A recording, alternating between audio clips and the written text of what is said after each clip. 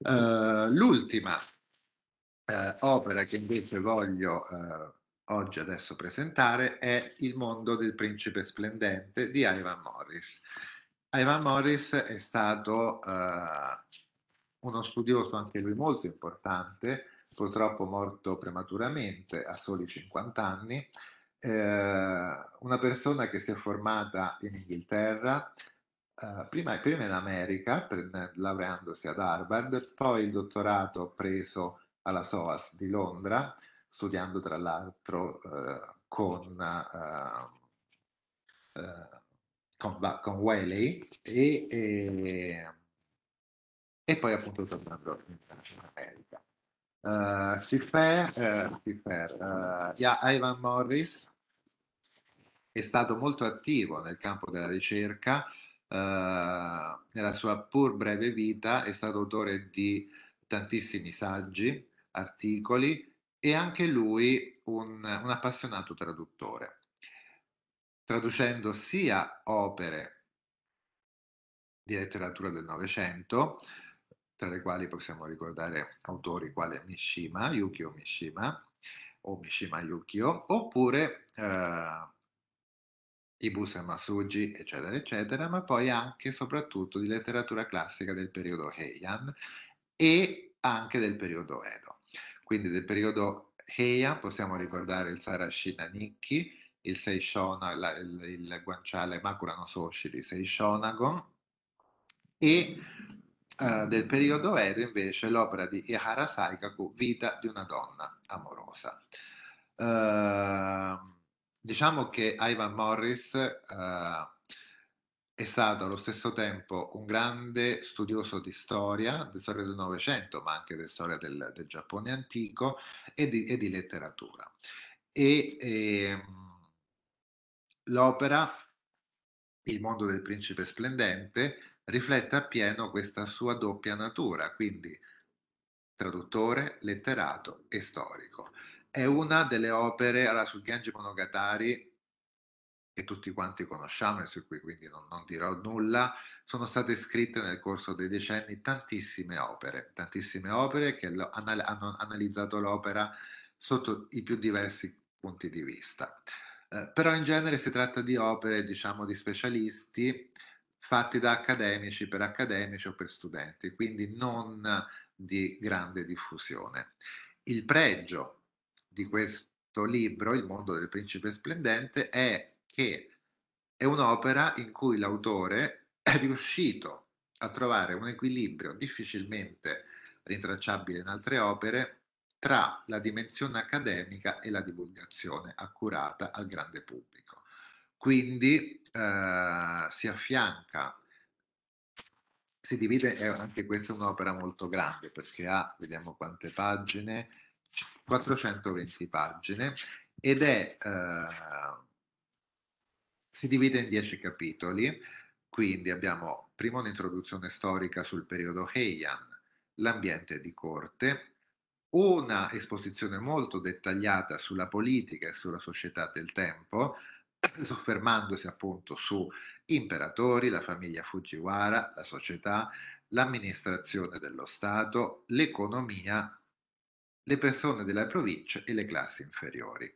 E poi dopo questa prima parte introduttiva, ma appunto ripeto, introduttiva è un termine forse che non rende giustizia,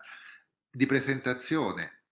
in maniera diciamo non accademica ma estremamente puntuale e corretta della società e della politica del tempo, l'autore si sofferma alternando brani dal Genji Monogatari ma anche da tantissime altre opere letterarie, sugli aspetti che riguardano la religione, le superstizioni, le persone di qualità, quindi gli aristocratici e i loro gusti, la loro vita, il culto della bellezza, imprescindibile al tempo, le donne Heian e i rapporti con gli uomini,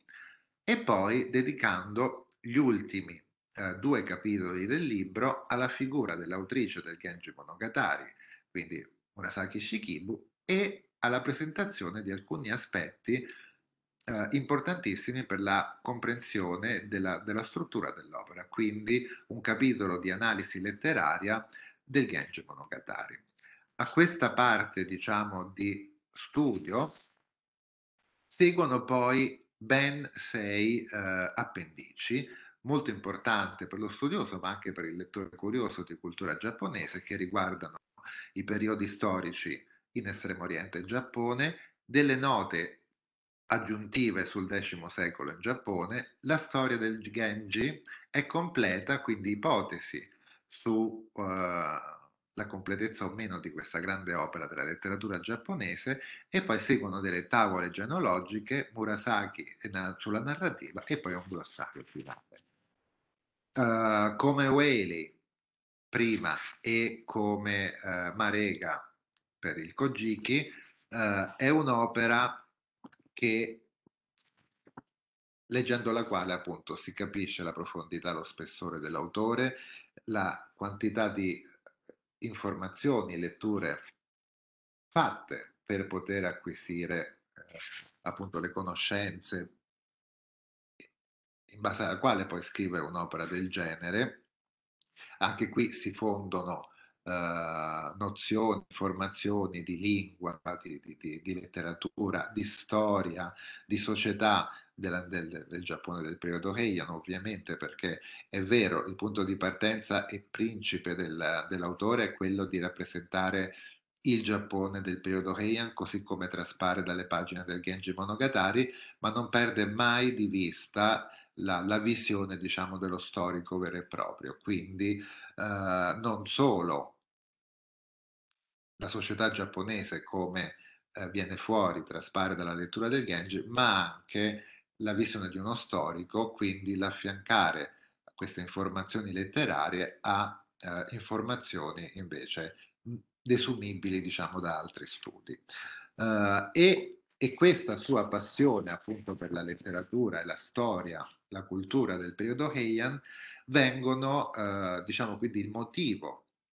scatenante, diciamo, che ha indotto Ivan Morris a, scrive, a scrivere quest'opera vengono riportate da lui stesso all'interno del libro, nel capitolo sesto, per la precisione, le persone di qualità e la loro vita, di cui adesso vi leggo l'incipit. Se a un occidentale discretamente colto venisse chiesto di indicare gli aspetti salienti della tradizione giapponese, il suo elenco potrebbe essere questo nella cultura, il dramma no e il dramma kabuki, la poesia haiku, le stampe ukiyo-e, la musica shamisen e altre varie manifestazioni. Nella struttura sociale, il samurai con le sue spade e la geisha. Nelle idee, il pensiero zen in materia di esperienza umana e l'importanza che esso attribuisce alla comprensione intuitiva della verità e dell'illuminazione. Il dilemma tra dovere, affetti umani, atteggiamento estremamente condiscendente verso il suicidio, eh, nella casa le stuoie di paglia, i grandi ba- eh, bagni in, cos- in, comune, le nicchie per appendervi i rotoli illustrati, nell'alimentazione il pesce crudo e la salsa di soia, eccetera, eccetera. L'elenco sarebbe esatto, no? annota Ivan Morris. Però nessuna di queste cose era presente nel mondo di Murasaki e lei stessa le avrebbe considerate del tutto estranee quanto lo sono oggi per noi occidentali. Quindi da, dalla lettura di questo brano è evidente che proprio il motivo che indusse Ivan Morris a scrivere quest'opera era sicuramente per comunicare, per diffondere non solo agli specialisti ma anche al pubblico curioso un aspetto eh, della società